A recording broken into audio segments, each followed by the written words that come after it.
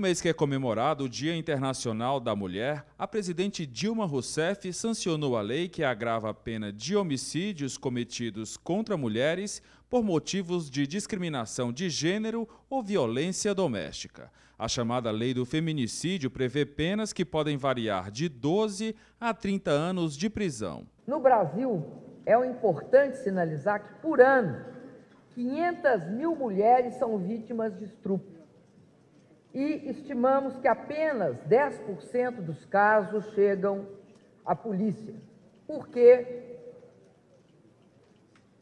as pessoas que sofrem, as mulheres que sofrem muitas vezes têm medo e vergonha de denunciar. Daí a importância dessa lei. Daí a importância dessa lei transformar em crime hediondo a violência que resulta em assassinato pelo fato de ser mulher. É importante percebermos que, em número populacional, as mulheres superam o número de homens, né? A quantidade de mulheres realmente é bem superior.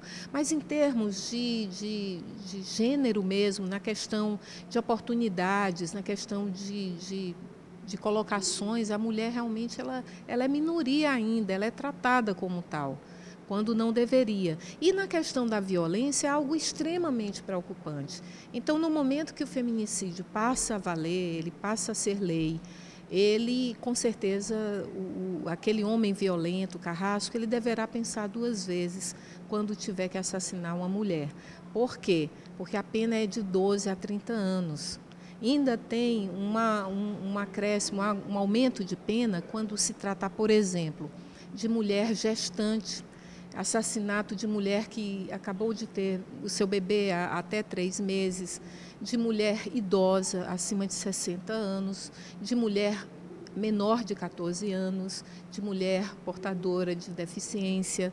Então, são situações em que há o agravante da pena.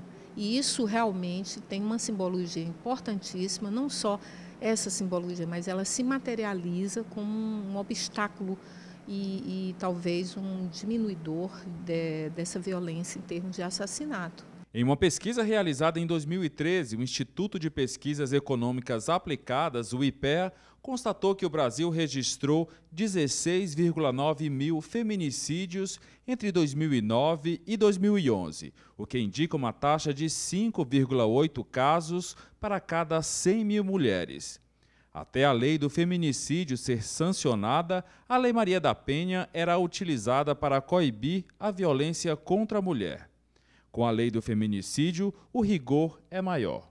A nossa sociedade e os jovens, que inclusive são os que mais praticam crimes e os que mais morrem, né? e, e as mulheres estão morrendo junto.